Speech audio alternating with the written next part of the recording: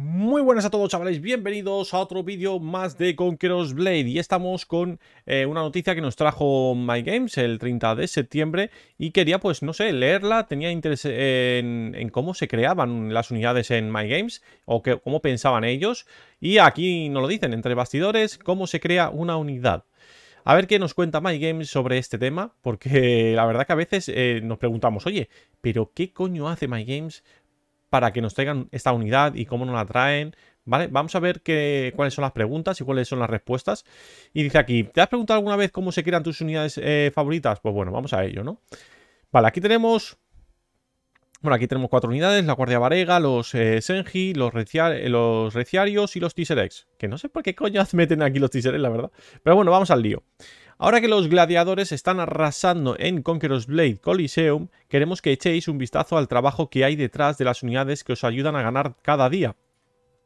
Hemos charlado con Anton Maginov, director creativo de Booming Tech, sobre las labores de investigación y desarrollo que hay detrás de vuestras unidades favoritas. ¿Cómo decidís en qué soldados o facciones de la, de la vida real inspiraros al crear las unidades de temporada? Siempre tenemos en cuenta varios factores. Primero, estudiamos cuáles son los guerreros más icónicos de la era en cuestión. Después pensamos en las particularidades y necesidades del juego. A veces es fácil saber cuáles son las unidades más esperadas por la comunidad por las conversaciones que tienen. Eh, ¿Ya está? O sea, ¿eso? Joder, macho. Increíble. La verdad, no me lo esperaba. Vale. Eh, ¿Cuánta investigación histórica lleváis a cabo antes de diseñar una unidad? Dice, toda la que podemos, claro. Investigamos el equipamiento, las armas, el trasfondo y el entrenamiento de las unidades que pensamos llevar al juego.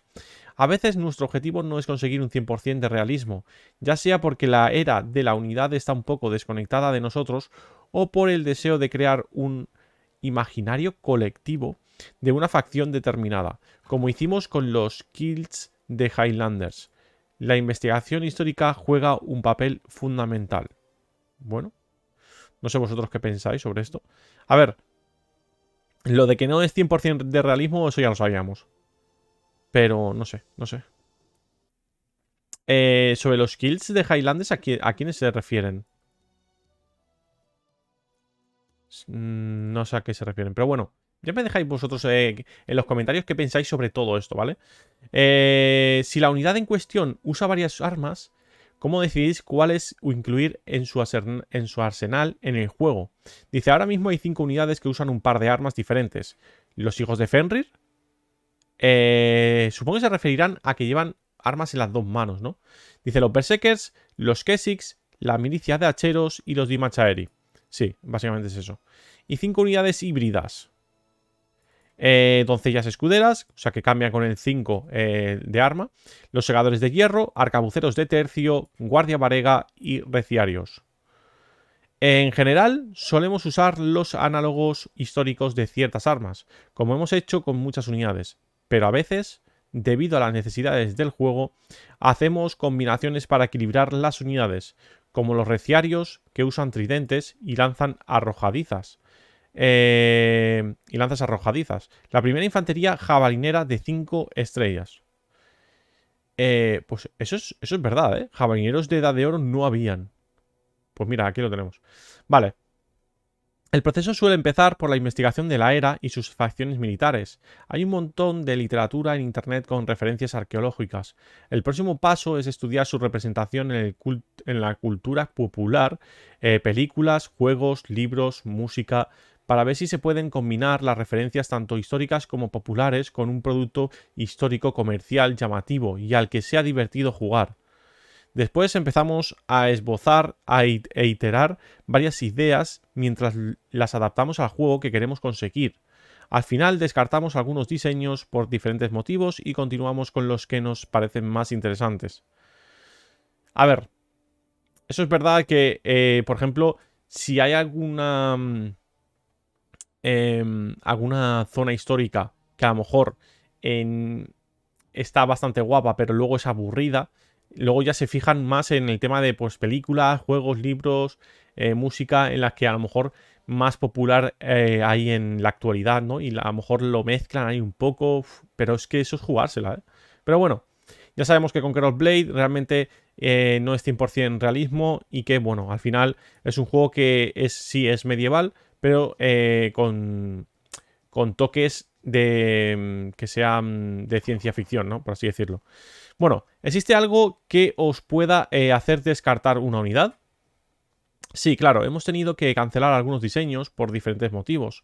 Suele ser por dos razones. La unidad es demasiado similar a una que ya existe o no da suficiente juego.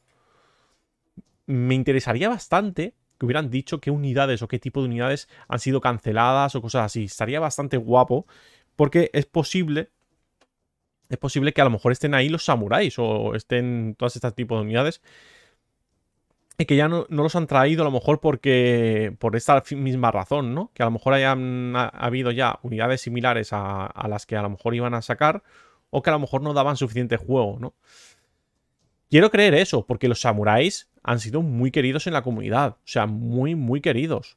Y aún así, Booming los ha descartado.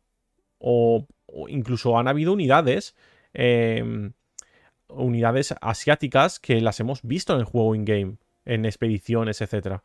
Y aún así no han sido eh, sacadas en, en ninguna temporada, con todas las que hay, que han habido muchas temporadas. Entonces estoy casi 100% seguro de que ha sido cancelada una temporada asiática, seguro. O sea, no, no, me puedo creer que no, que no lo hayan intentado, seguro. Seguro que lo han intentado y han dicho, mira, pues vamos a descartarla por lo que sea.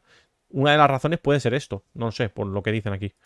Vale, ¿qué unidades ha sido la más difícil de diseñar y por qué? Ha habido varias, eh, varias unidades difíciles de diseñar y producir. Creo que la más difícil fue de las, eh, la de los cazadores con perro de Highlanders. Ah, pues igual eh, es esa la que, la que hablaban antes. Una unidad que combina dos entidades totalmente diferentes con estilos de juego independiente, arqueros a distancia y perros combate cuerpo a cuerpo. Llevo mucho trabajo, eh, bueno, llevó mucho trabajo a los diseñadores y el equipo técnico conseguir el resultado que necesitábamos después de muchas iteraciones. También es la que más eh, tiempo llevó producir de todas. Interesante.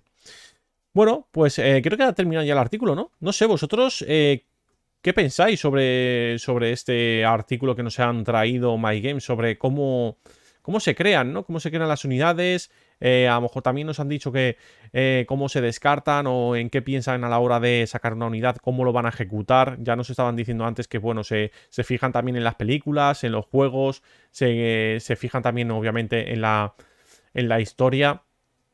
Así que no sé, vosotros a ver en los comentarios qué pensáis sobre este tema sin más, quería simplemente, tenía curiosidad y digo, pues a lo mejor hay alguno de mis suscriptores eh, que también tiene bastante curiosidad en este tema. Así que, no sé, vosotros a ver qué pensáis, dejadme en los comentarios, dejar un buen like, suscribiros, que es gratis, y nos vemos en próximos vídeos. Chao, chao, adiós.